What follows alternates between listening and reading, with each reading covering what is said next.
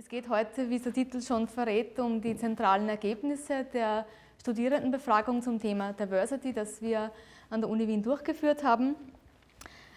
Ähm, und im Zusammenhang mit dieser Studierendenbefragung habe ich eigentlich wiederholt gesagt, die Universität Wien möchte sich genauer mit der Zusammensetzung ihrer Studierenden befassen. Weil dass die Uni Wien ihre Studierenden nicht so gut kennt, das ist eigentlich an einem Beispiel von letzter Woche klar geworden. Ich zitiere das jetzt eigentlich mehr so ein bisschen aus ironischen Gründen, wo ein äh, Studierender sich in einem offenen Brief an die Unileitung wandte, weil er aufgrund seiner schwarzen Hautfarbe für das Thema Internationalität herhalten musste und er fühlte sich eben da in ein falsches Eck gedrängt.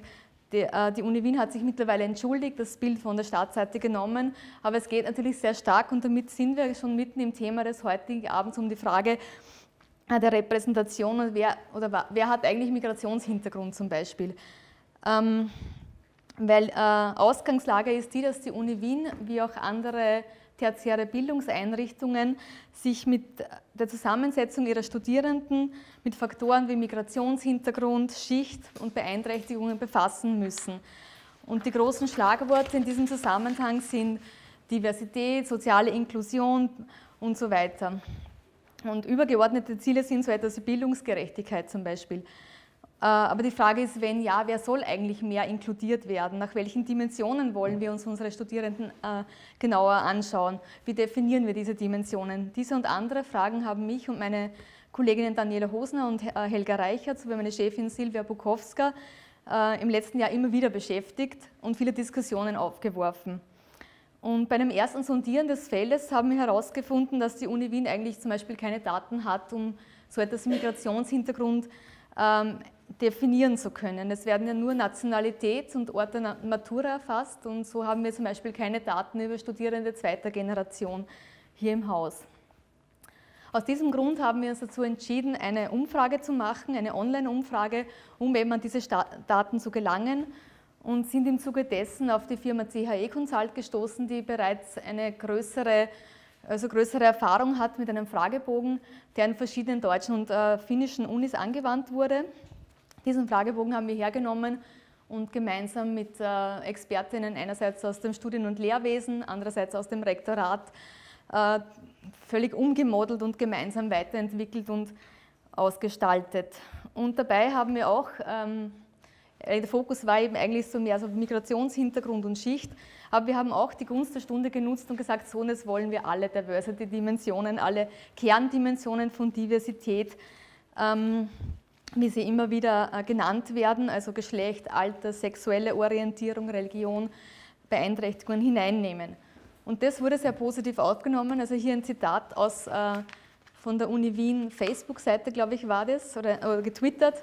Hut ab für die Umfrage. Ich finde es sehr gut, dass man sich nicht für ein Geschlecht entscheiden muss, weil wir haben, das war auch sehr revolutionär quasi in diesem Haus, äh, die Dimension Geschlecht nicht in Mann, nur in Mann und Frau aufgeteilt, sondern auch eine Antwortkategorie gelassen. Ich will mich, kann mich keinen, keinen der beiden Geschlechter zuordnen.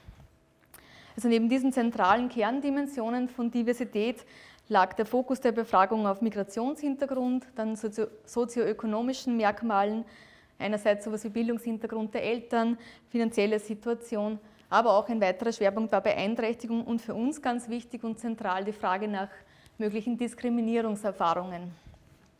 Das haben wir extra ausgestaltet. Der Fragebogen hat dann insgesamt ca. 15 Minuten gedauert zur Beantwortung und wurde in, an alle ordentlichen Studierenden verschickt. Wir haben die also Erasmus-Studierende Incomings haben wir dezidiert ausgeklammert, weil wir gesagt haben, die haben nicht genug Erfahrung hier im Haus und wir wollen quasi alle, die länger hier studieren.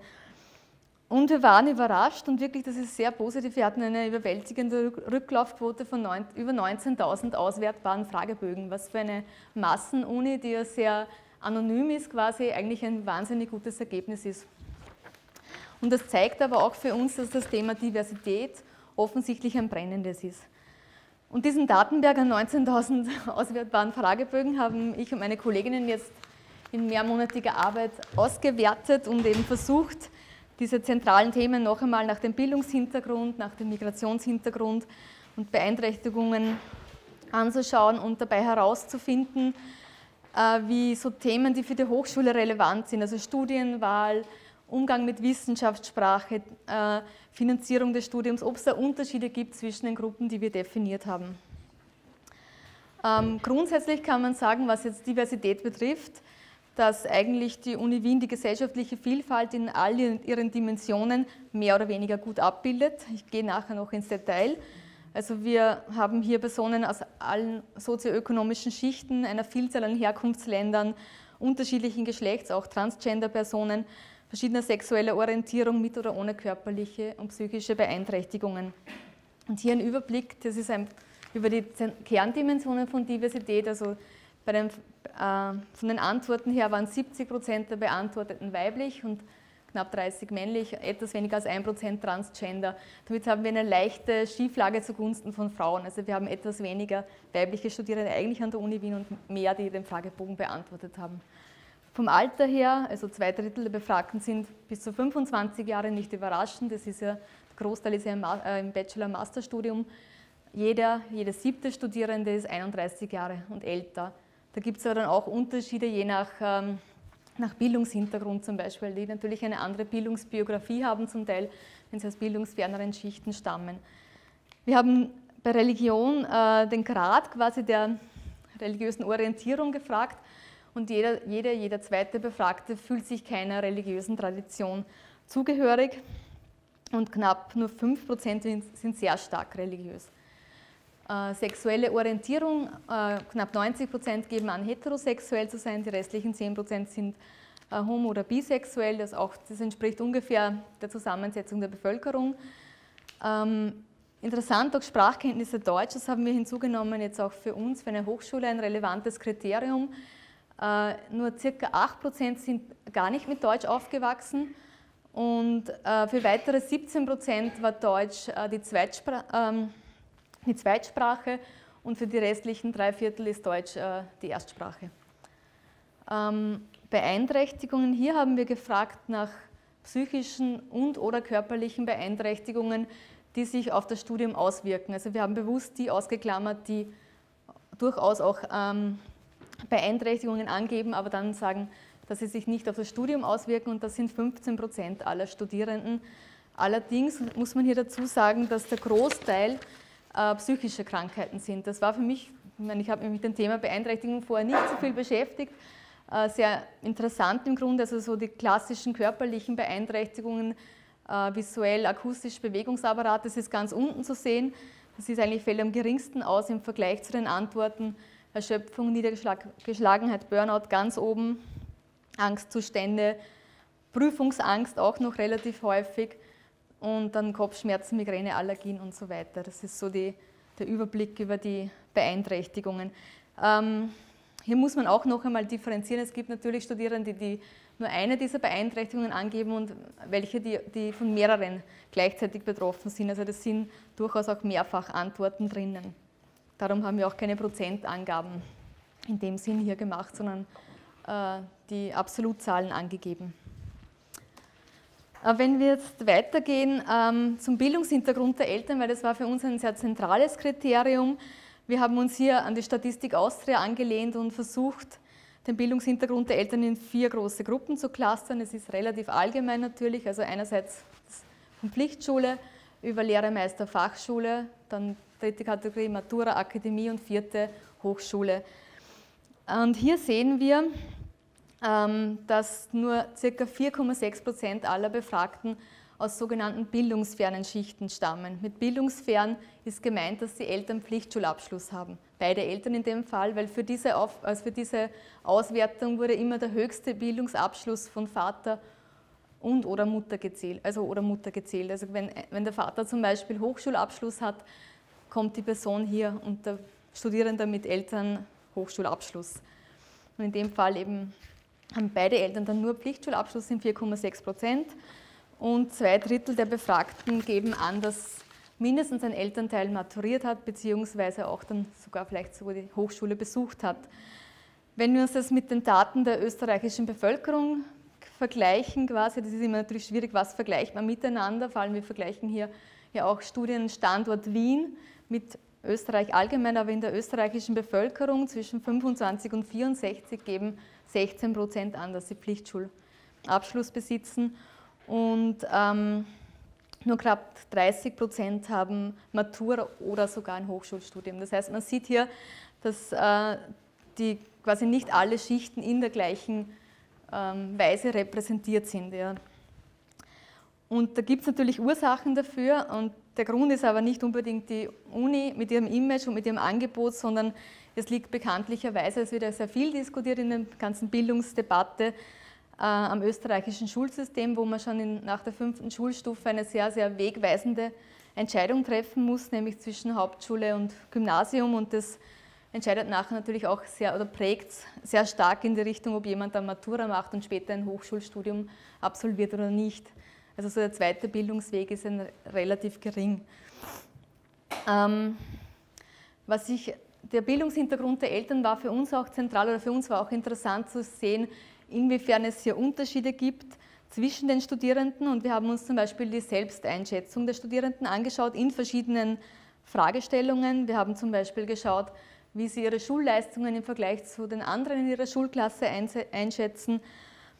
Ähm, wie sie den Umgang mit Wissenschaft, also ihren eigenen Umgang mit Wissenschaftssprache einschätzen, ob sie Probleme mit Wissenschaftssprache haben oder nicht, äh, wie zuversichtlich sie sind, ihr Studium erfolgreich abzuschließen. Und hier haben wir schon ein klares Gefälle zu Ungunsten von bildungsferneren Schichten mit dieser Selbsteinschätzung. Auch bei den Angaben zu, ob eine Person äh, Diskriminierung selbst erlebt hat und zu Angaben äh, über psychische und körperliche Beeinträchtigungen sind diese Angaben höher bei bildungsferneren Schichten und es fällt ab, je höher der Bildungsgrad der Eltern. Auch ein, weiterer, ähm, ein weiteres Detail sind natürlich auch äh, die nötige Berufstätigkeit zur Finanzierung des Studiums, aber das ergibt sich relativ klar aus, der, aus dem sozialen Hintergrund. Äh, wenn wir uns die Beeinträchtigungen genauer anschauen nach dem Bildungshintergrund der Eltern, dann sehen wir hier mit dem roten Pfeil markiert äh, 23,6 Prozent, also fast ein Viertel aller jener, die den Eltern Pflichtschulabschluss haben, geben an, dass sie psychisch, psychisch oder körperlich beeinträchtigt sind oder sich beeinträchtigt fühlen. Hingegen bei den Eltern mit äh, Hochschulabschluss sind es 15,5 Prozent. Also das ist schon irgendwie, das deutet schon darauf hin, dass hier offensichtlich ein, ein erhöhter Druck oder ein, ein eine schwierigere Studiensituation allgemein zu verorten ist, vor allem wenn man auch in Betracht zieht, dass der Großteil ja psychische Erkrankungen sind. Also ich denke mal, das ist ein, ein sehr wichtiger Punkt, hier genauer hinzuschauen. Allerdings, und hier kommen wir zum nächsten Punkt, das war jetzt quasi die subjektive Wahrnehmung der befragten Studierenden, aber wenn wir uns anschauen, den Verbleib oder die Verteilung der, der sozialen Schichten nach Bildungshintergrund auf die Studienebenen, also Bachelor, Master, Magister, Doktorat, und schauen, inwiefern diese durchlässig sind, so kommen wir zu dem mehr oder weniger überraschenden Ergebnis, dass sich hier die Schichten gleich aufteilen. Also die, die, die These ist quasi, äh, der Zugang zur Uni ist vorher sehr sozial selektiv und wir haben einen sehr geringen Prozentsatz an bildungsfernen Schichten im Haus. Wenn sie allerdings einmal hier sind, trotz aller größeren Schwierigkeiten ist offensichtlich eine gewisse Durchlässigkeit gegeben und das ist an sich auch wieder ein positiver Teil. Nur muss man hier bei dieser Tabelle auch sagen, ähm, es handelt sich hier nicht um Studienabschlüsse. Das heißt, es sind Leute, die befinden sich in den jeweiligen Studien und über den tatsächlichen Studienerfolg, das müsste man sich auch noch genauer anschauen. Ähm, für eine weitere Ebene haben wir uns die Studierenden angesehen nach sogenannten Bildungsinländerinnen und sogenannten Bildungsausländerinnen. Also wir haben grundlegend unterschieden zwischen Leuten, die in Österreich sozialisiert wurden, ihre Schulbildung hier absolviert haben und jenen, die aus dem Ausland gekommen sind, um in Österreich zu studieren. Ähm, und hier sehen wir, dass zwei Drittel der Befragten äh, sind Bildungsinländerinnen äh, ohne Migrationshintergrund sind hier in Österreich aufgewachsen, zur Schule gegangen und ihre Eltern sind beide in Österreich geboren. Weitere 9,3 Prozent sind sogenannte Bildungsinländerinnen mit Migrationshintergrund. Das, sind, das ist eigentlich die Gruppe, die uns sehr stark interessiert, wo wir wissen wollten, wie geht es denen, die in Österreich aufgewachsen sind, deren Eltern aber aus dem Ausland zugezogen sind, wie gut sind die quasi integriert und wie, sehr schaff, wie schaffen es die in die Hochschule. Dieser Prozentsatz ist, wie man hier sieht, relativ gering. Und ein gut ein, ein Viertel fast sind eben die sogenannten BildungsausländerInnen oder auch oft internationale Studierende genannt. Das ist ein bisschen unklar von der Bezeichnung her. Die sind eben im Ausland aufgewachsen, zur Schule gegangen und nach Österreich für die, für die Hochschule migriert. Ähm, was hier interessant ist, ist, ähm, inwiefern sich diese Gruppen unterscheiden. Also zum Beispiel die BildungsausländerInnen, die haben einen viel höheren äh, Anteil an, an ähm, Eltern mit Hochschulabschluss. Das liegt bei 60 Prozent und im Durchschnitt quasi bei den Studierenden ist er bei 43 Prozent. Das heißt, die kommen eigentlich aus viel bildungsorientierteren Schichten, möglicherweise auch aus ökonomisch besser gestellten Schichten, weil es ist natürlich auch immer eine finanzielle Frage, ob sich jemand leisten kann, für ein Studium nach Österreich zu kommen. Ähm, aber kommen wir jetzt noch genauer zu den Bildungsinländern mit Migrationshintergrund, also zu den quasi in Österreich aufgewachsenen. Wie gesagt, sind das weniger als 10 Prozent aller Befragten. Oder anders gesagt, jeder, jede achte Bildungsinländerin an der Universität Wien hat Migrationshintergrund. Und Migrationshintergrund heißt bei uns eben, dass beide Elternteile im Ausland geboren sind. Ähm, wenn man das wieder mit der österreichischen Gesamtbevölkerung versucht, in Bezug zu setzen, Statistik Austria sagt, dass 20 Prozent der österreichischen Bevölkerung nach dieser Definition Migrationshintergrund hat. Ähm, in Wien zum Beispiel, der Integrationsreport spricht sogar von 50 Prozent, die haben allerdings eine andere Definition, die äh, zählen auch dann zum Migrationshintergrund, wenn ein, nur ein Elternteil im Ausland geboren ist. Also auch hier so die Vergleichslage.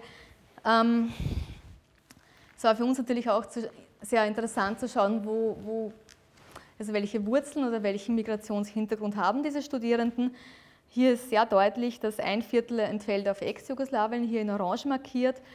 Ähm, circa ein weiteres Viertel auf die EU-Beitrittsstaaten aus 2004 und 2007. Das ist in, äh, etwas verwirrend hier in Blau und ähm, Moment, in Blau und Grau, also mit EU 10 und EU 2 bezeichnet. Ähm, Türkei hat nur 13 Prozent, also Studierende mit, also türkischstämmige Studierende sind nur 13 Prozent und auch ähm, Studierende mit Wurzeln in Asien oder Deutschland sind relativ gering mit nur 10 Prozent. Das ist aber, wenn man sich auch wieder die Vergleichsdaten mit der Bevölkerung anschaut, spiegelt das relativ gut die derzeitige Bevölkerungsstruktur wider. Ähm, wie ich schon erwähnt habe, ist der Bildungshintergrund äh, bei den ähm, bei diesen Bildungsinländerinnen mit Migrationshintergrund sehr unterschiedlich. Wir haben hier nur vier Gruppen verglichen. Also einerseits äh, Studierende mit deutschen Eltern. Hier sehen wir, die haben, bis, die haben einen sehr, sehr hohen Anteil an Akademikereltern, also mit dem in Gelb äh, oder Orange. Ähm, dahingegen äh, Studierende mit türkischen Eltern kommen zu über 50 Prozent aus bildungsfernen Haushalten und nur knapp 10 Prozent haben, Leute, äh, haben Eltern mit einem akademischen Background. Bei Studierenden mit äh, Eltern aus, äh, äh, aus dem ehemaligen Jugoslawien teilt sich das relativ gut aus, auf, auf die verschiedenen Schichten. Und auch äh, Studierende mit Eltern aus den EU-Osterweiterungsländern, die sind relativ gut gebildet, wie man sieht. Also die haben 47,1 Prozent an äh, Eltern aus Akademikerhaushalten und 38,7 Prozent, die auch maturiert haben und sehr, sehr, sehr wenige, die Pflichtschule oder Lehre, Fachschule besucht haben. Also das finde ich total interessant, wie unterschiedlich hier diese Gruppen zusammengesetzt sind. Ähm, und für uns heißt das, wenn wir uns das ansehen, dass eindeutig vor allem äh, Studierende aus türkisch, also mit türkischen Eltern, aber auch jene mit äh, Eltern aus Ex-Jugoslawien eindeutig zu den sozialen Aufsteigerinnen in ihren Familien zählen. Und äh, dieser Aufstieg ist aber nicht unbedingt einfach, ähm, weil wir sehen hier bei den Bildungsinländern mit Migrationshintergrund verglichen mit denen ohne Migration, Migrationshintergrund sowieso ähm, etwas mehr Schwierigkeiten mit der Wissenschaftssprache. Sie sind auch weniger zuversichtlich, was ihren Studienerfolg betrifft. Und, das ist ein weiterer Punkt, es gibt auch Unterschiede im Hinblick auf Diskriminierungserfahrungen. Also wie gesagt, haben wir gefragt, äh, ob ähm, Studierende selbst Diskriminierung erlebt haben oder ähm, Diskriminierung beobachtet haben. Selbst erlebt es hier in Blau in diesem Balken.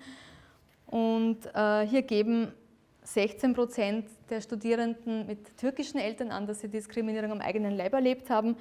Aus, äh, den, aus EU, EFTA zum Beispiel ist es nur 8,5 Prozent. Also das ist einfach halb so viel. Ähm, und für uns heißt das quasi zusammengefasst, dass insbesondere die Gruppe der, türkischen, äh, der Studierenden mit türkischem Migrationshintergrund ähm, verstärkten Unterstützungsbedarf hat. Ähm, wir setzen das aber auch wieder in Zusammenhang mit dem Bildungshintergrund der Eltern. Also das muss man auch immer bedenken. Es geht ja nicht unbedingt nur um Herkunftsland und Kultur, sondern es geht sehr stark auch darum, dass die einfach aus einer ganz anderen Schicht stammen und es auch dahingehend auch schwieriger haben äh, und auch einen anderen sozialen Status haben, der natürlich auch an der Universität eine Rolle spielt. Äh, interessant ist auch, wie sich der, der Bildungshintergrund der Eltern auf die Studienwahl auswirkt. Also wir sehen, dass die sozialen Aufsteigerinnen allgemein mehr oder tendenziell häufiger in Lehramtsfächern Politikwissenschaft, Rechtswissenschaft und Pharmazie vertreten sind. Ähm, die, die Studierenden mit Migrationshintergrund, da sind wir ein bisschen mehr Rechtswissenschaften, Wirtschaftswissenschaften, Translationswissenschaften und auch Pharmazie. Ähm, etwas anders ist es bei den Studierenden aus dem Ausland, also den Bildungsausländerinen. Ähm, die sind durch einen überwiegenden oder einen sehr hohen Anteil an Deutschen gekennzeichnet. Also 43 Prozent der Befragten, die aus dem Ausland nach Österreich gekommen sind zum Studium, geben an, äh, aus Deutschland zu kommen. Äh, gefolgt von Studierenden aus den westlichen EU-Ländern und EFTA sind gut 20 Prozent. Dann äh, aus den EU-Beitrittsstaaten 2004 und 2007, das sind gut 15 Prozent. Äh, Studierende aus Ex-Jugoslawien machen nur 6,5 Prozent aus und aus der Türkei nur 5 Prozent. Was auch interessant war für uns, weil es, es gibt ja viele quasi Erfahrungen, es wird viel gesprochen auch an der Uni Wien und die Gruppe der türkischen Studierenden wird auch sehr oft hervorgekehrt, macht aber eine, nur eine sehr, sehr kleine Gruppe aus. Ähm, Bildungsausländerin, da sehen wir, die sind relativ zielstrebig in der Wahl ihrer Hochschule. Für zwei Drittel war, war die Uni Wien die erste Wahl. Und sie geben dabei an, dass sie die Attraktivität der Stadt, das Studienangebot und Lebensqualität als treibende Faktoren für sich empfinden. Wir sehen, dass sie häufiger in Wirtschaftswissenschaften, Psychologie und Translationswissenschaften vertreten sind als Bildungsinländerinnen. Und sie sind nicht nur oder fühlen sich nicht nur subjektiv zuversichtlicher, was ihr Studium und dessen erfolgreichen Abschluss betrifft, sie kommen auch überdurchschnittlich häufig aus Akademikerinnenhaushalten. Und hier sind die türkischen Studierenden eine kleine Gruppe, äh, eine große Ausnahme, weil die haben nur einen kleinen Anteil an, an Akademikereltern. Also wir sehen hier wieder den Unterschied. Deutschland ist eben der erste Balken. Äh, hier kommen, hat äh, fast zwei Drittel hat Eltern mit einem Studienabschluss. Auch die Studierenden aus den EU-Osterweiterungsländern im letzten Balken haben einen sehr, sehr hohen Anteil, noch höheren Anteil an Eltern mit Studienabschluss. Bei den türkischen Studierenden ist er geringer und eben auch interessant bei den türkischen Studierenden auch ein Viertel kommt aus, einer, aus bildungsfernen Schichten. Also es ist schon auffällig, dass hier die Streuungen sehr unterschiedlich sind, je nach Herkunftsregionen. Und ähm, das wirkt sich auch auf weitere Themen aus. Also wir haben hier zum Beispiel auch noch das Thema der Beeinträchtigung. Ähm, auch wieder hier auffallend, dass 38 äh, Prozent der Studierenden, die aus der Türkei nach Österreich gekommen sind, angeben, unter psychischen oder körperlichen Beeinträchtigungen zu leiden.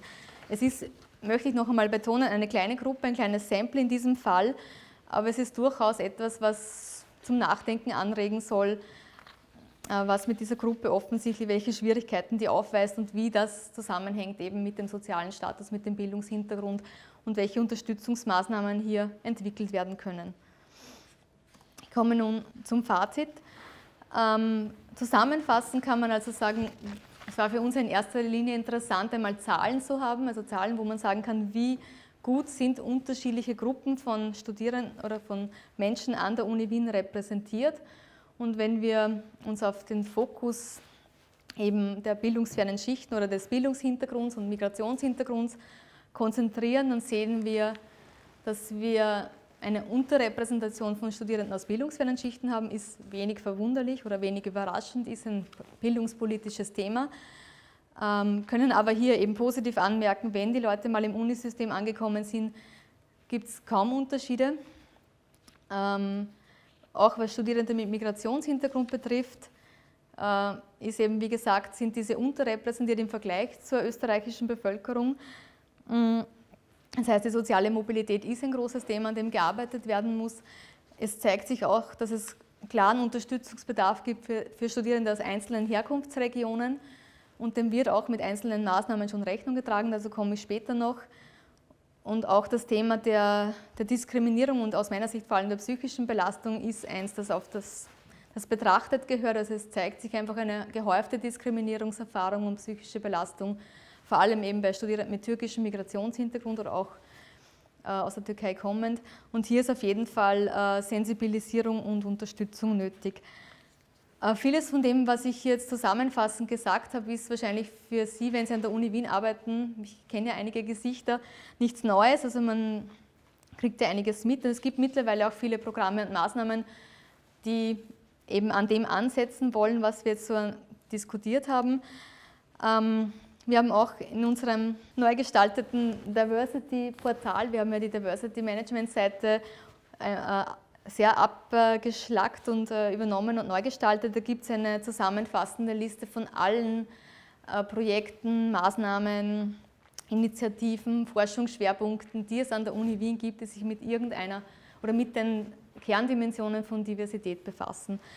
Also bitte gern auch mal reinschauen ist, oder wenn etwas fehlt, gerne ergänzen und meinen Kolleginnen schreiben, äh, dass das noch ähm, ergänzt gehört. Dann noch kurz zu den bestehenden Maßnahmen. Also wir haben ja gesagt, eine der Gruppen, die uns interessiert, sind bildungsferne Schichten. Es gibt äh, die Kinderunion Tour.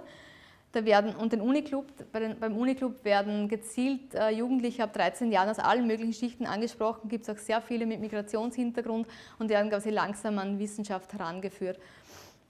Und äh, es gibt auch Informationen an Schulen, das Projekt Schule trifft Uni und so weiter und das ist, glaube ich, vom Student Point. Für die Gruppe der Studierenden mit Migrationshintergrund, die bereits an der Uni Wien sind, gibt es zum Beispiel hervorzuheben ein Mentoring-Projekt von der Publizistik und Kommunikationswissenschaft für Studierende, deren Muttersprache nicht Deutsch ist. Und es gibt auch ein Schreibmentoring äh, auf der Politikwissenschaft. Und für die Zielgruppe der beeinträchtigten Studierenden tut sich jetzt, glaube ich, sehr viel. Es gibt ja den Student Point Barrierefreier Team. Äh, Bruno ist eh hier mit seinem Kollegen. Äh, hier gibt es ein äh, gutes Beratungsangebot für Studierende mit Beeinträchtigungen und auch so Angebote wie eben zum Beispiel ein, ein Stipendium zur Unterstützung von beeinträchtigten Studierenden.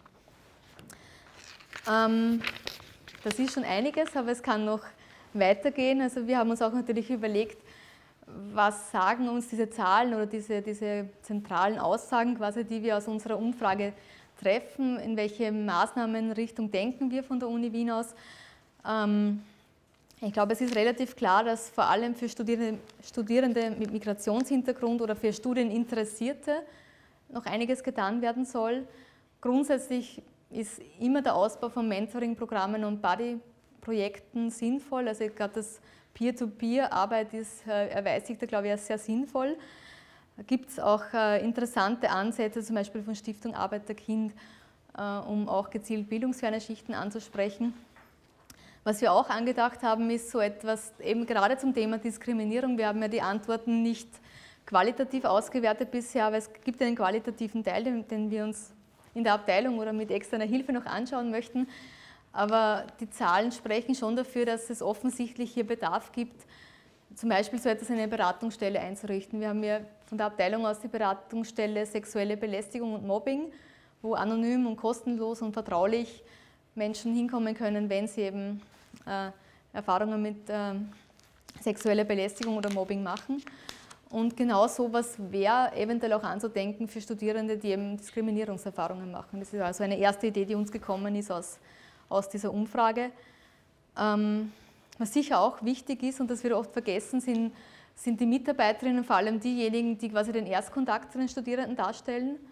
Also nicht erst dann die Lehrenden und Professorinnen, sondern oft auch das allgemeine Personal bei der Studienadministration, äh, dass diese auch besonders sensibilisiert werden und hier ähm, Maßnahmen angeboten werden. Und äh, last but not least braucht man natürlich auch immer ein, oder ist jetzt begonnen worden mit einem Datenmonitoring und es wäre interessant, das fortzusetzen und zu schauen, wie sich quasi die Zahlen entwickeln und hier auch weiterhin ähm, Entwicklungen steuern zu können und auch Erfolge feiern zu können. Und das wäre, glaube ich, der richtige Weg in Richtung, dass die Uni Wien von sich sagen kann, dass sie äh, soziale Inklusion äh, und Diversity wirklich auf ihre Fahnen schreibt. Danke.